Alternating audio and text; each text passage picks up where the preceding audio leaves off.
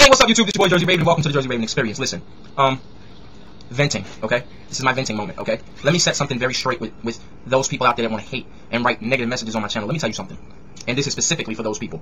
Get it together. Now, I said that because if I get one more if I get one more motherfucker that tells me that I say, get it together too much, I am going to get you together, okay? Let me tell you something. If you do not like the fact that I say, get it together, then do not watch my fucking show, okay? That's number one. Excuse my French for my real, true subscribers. But for those of you that jump on and off of my channel, I'm not talking about subscribers, I'm talking about people who jump in and out who don't know me or know my channel. You know, why would you take the time to write something negative on my page? If you don't like it, don't fucking watch it. It's just that simple. Don't waste your time. Because me, I'm going to continue to say, get it together, okay? Get it together. Because number one, let me tell you why.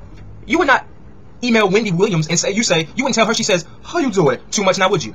How you do it That's synonymous with her show. That's the greeting of her show. Just like Get It Together is the greeting of the Jersey Raven experience, okay? This is my channel, my vision, my videos, get it together. So I'm to continue to do what I want to do with my channel and my videos. If you do not like the fact that I say that, then keep it moving, get the step in. I enjoyed it. I appreciate that you watched and took the time out of your whack-ass day to leave a comment on my page. Get it together, okay? Get it together, okay? And I'm saying this so much now on purpose is to piss you the fuck off. For those of you that can't stand the fact that I say that too much and, oh, you guys actually take the time to write on my channel. Oh, I say it too much. Now, if that's how you feel and you are legit, you have a legitimate issue with it, then fine. But if you write negative shit on my page just because of, now, the last time I checked, that over here, no, my bad, that over here said Jersey Raven, i.e. the Jersey Raven experience. That's me. That's mine. I own that. Get it together, okay? So you come up with your own catchphrase, okay? Get it together. Now, if you notice, I don't say get it together like when somebody's referencing that in other shows and things like that. You know, I say get it together, okay?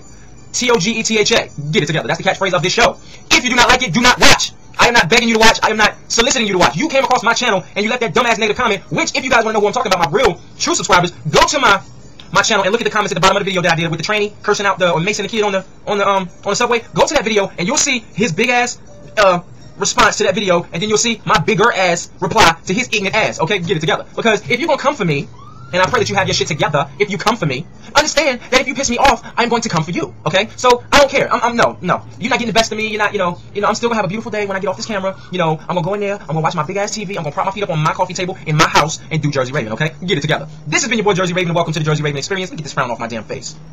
Okay? Yo, don't forget, I want you guys to comment on this video. Rate right here. And definitely subscribe to your boy, Jersey Raven. Get it together. This has been your boy. Okay?